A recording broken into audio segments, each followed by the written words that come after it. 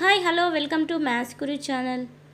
In this video, I am going to explain exercise 12.3 third question. See here, third question is if two circles intersect at two points, then prove that their centers lie on the perpendicular bisector of the common chord. Right? Now we need to prove that. Now here, see here two circles see let two circles with center p and q intersect at two, distinct points say a and b. Okay see once you can take the compass set any radius. Set you can set any radius. With that same radius draw two circles. Okay draw two circles. The two circles which is intersect at two points. Okay two circles p and q. P and q are the centers of the circles. And these circles intersected two points a and b.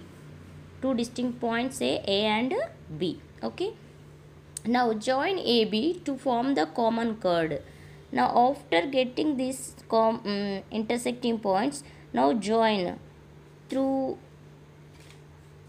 center O okay? Join A and B like this. You can join okay?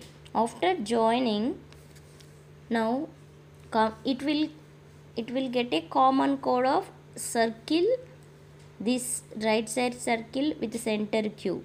So AB is the chord see the center Q the here AB is the chord of this circle which is having center Q right?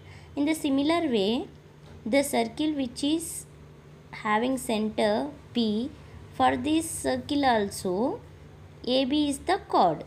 So this AB is the common chord for two circles right?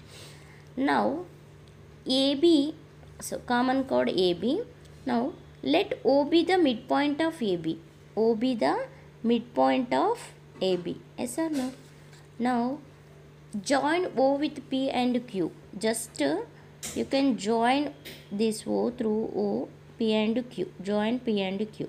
Okay next. You can join AP and AQ PB and BQ okay after joining now you will get one triangle here. So AOP and BOP are two triangles. See see it properly. This is one triangle and this is one triangle right? AOP and BOP are the two triangles. See AOP and BPO or BOP are the two triangles. Now in these triangles say AP is equal to BP AP is equals to BP okay. Why? Because this is the radius. Radius PB is the radius of circle with this circle which is having center P and uh, PA is the one more radius of the same circle. So we can call these two are radii. Okay. So radii of this circle with center P. Now we can write AP is equal to BP okay. See here I wrote AP is equal to BP radii. Now PO is equals to PO PO is equals to PO this is the cir center O see circle O here OP is equal to OP why? Because for this triangle and for this triangle this is the common side. So common side. After that AO is equals to BO why? Because why? Because O is the midpoint of AB O is the midpoint of AB so whatever distance is there same distance it will be. Okay. Now see AP is equal to BP radii, PO is equal to PO common side of two triangles. Now AO is equal to PO. Why? Because O is the midpoint. So here this is the side, this is the side, this is the side. Yes or no? Now triangle APO is congruent to triangle BPO by using triple S congruency. Yes or no? Also AOP is equal to angle BOP. Why? Because if these two are congruent triangles by CPCT rule congruent parts of mm, sorry corresponding parts of congruent triangles. But these are linear pair also. Angle AOP plus angle BOP is equals to 180 degrees means each 90 degrees. Okay. Now similar way similarly here also right side also triangle in triangle AOQ and in triangle BOQ in these two triangles similar way what we wrote here same process here also. Now AQ is equal to BQ why? Because radii of this circle. Okay? Next to OQ is equal to OQ why? Because that is the that is the common side of this triangle and this triangle. Next here AO is equal to BO why? Because O is the midpoint. O is the midpoint. Now based on the same congruency triple S congruency we can say that triangle AOQ and triangle BOQ are the congruent triangles.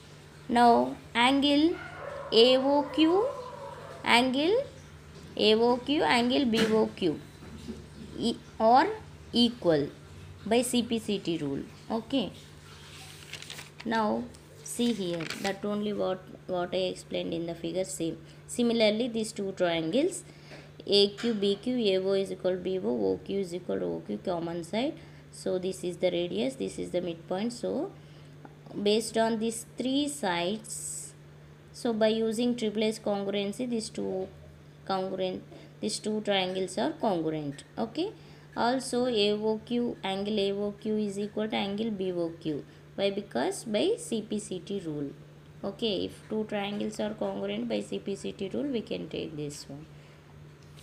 Okay next. Also tri- angle AOQ this is the linear pair means each 90 degrees. Okay each 90 degrees.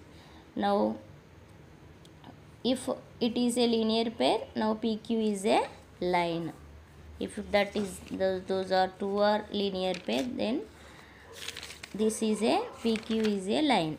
Now pq is a line. Okay. Now whenever pq is a line now we can say that here see.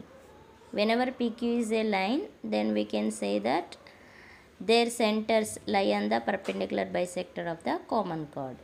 Their centers lie on the see if it is pq is a line their center lie on common chord ab their center this only no o lie on the common chord ab okay?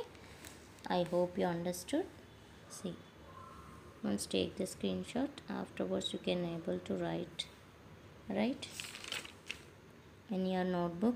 Okay for more videos subscribe my channel support me. Thank you. Have a nice day. Bye